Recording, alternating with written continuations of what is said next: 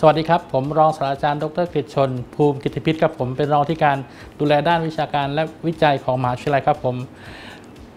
ก็ขอกล่าวต้อนรับนักศึกษาใหม่ประจำปีการศึกษา 2564 เข้าสู่ครอบครัวราชมงคลธัญบุรีครับผม ซึ่งตอนนี้ราชมงคลเรานี่มีนักศึกษาอยู่รวมกันประมาณ 26,000 คน มีอาจารย์ประมาณ 1,000 คน แล้วก็เจ้าหน้าที่ที่คอยดูแลนักศึกษาอีกประมาณ 1,000 คน ซึ่งครอบครัวนี้ก็ค่อนข้างจะเป็นครอบครัวที่ใหญ่ครับผม จึงขอขอให้พวกเรามาอยู่ร่วมกัน แล้วก็ทางมหาลัยเราจะสปอร์ตทุกอย่างเพื่อให้นักศึกษาใหม่ของเราได้อยู่อย่างมีความสุข แล้วก็เรียนอย่างอย่างมีความสุขครับผม ในสถานการณ์โควิด -19 ซึ่งเราเจอผลกระทบมาเกือบ 2 ปีเต็มแล้วนะครับผม จะเห็นว่ามหาลัยต้องมีการปรับตัวตลอดเวลาหลักสูตรที่มีการเรียนการสอนของเรามีทั้งหมด 8 ปริญญาตรีมีทั้งหมด 81 หลักสูตร ปริญญาโทมีทั้งหมด 22 หลักสูตร ปริญญาเอกมีทั้งหมด 6 หลักสูตร ซึ่งทุกหลักสูตรใช้ระบบการเรียนออนไลน์ ทางมหาลัยได้มีการจัดเตรียมเตรียมระบบ D-Learn ซึ่งเป็นระบบที่สามารถจะให้อาจารย์ สามารถเตรียมการเรียนเรียนการสอน เตรียมรายวิชาเตรียมข้อสอบ เพื่อให้ใช้ในการสอบกลางภาคสอบปลายภาคแล้วก็นักศึกษาก็สามารถที่จะ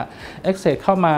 ร่วมเรียนการเรียนการสอนกับอาจารย์ได้ โดยผ่านระบบดีเลิร์นตัวนี้ครับผมนอกจากนั้นคือเราก็ยังมีระบบเสมือนจริง เพื่อให้นักศึกษาสามารถที่จะเข้าไปทบทวนการเรียนการสอนเรียกว่าระบบ learning management system นักศึกษาเราสามารถที่กลับไปทบทวนการเรียนการสอนที่ผ่านมาแล้วได้ อย่างมีประสิทธิภาพ ซึ่งมหาลัยพร้อมเต็มที่ครับผม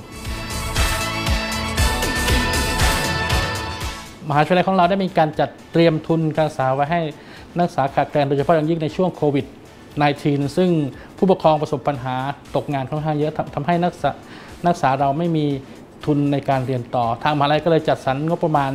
ให้ทุนประมาณ 40 ล้าน เพื่อ support นักศึกษาทุกคนครับผม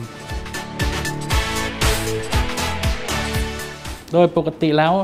มหาวิทยาลัยของเราได้มีการสอบสมรรถนะ ซึ่งถ้านักศึกษาเราเก่ง อย่างเช่น นักศึกษาเราเก่งทางด้านภาษาอังกฤษ นักศึกษาเราก็สามารถที่จะ สอบเอาผลการสอบ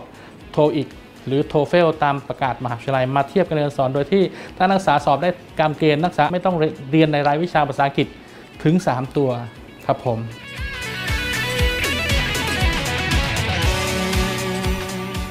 สุดท้ายก็ขออวยพรให้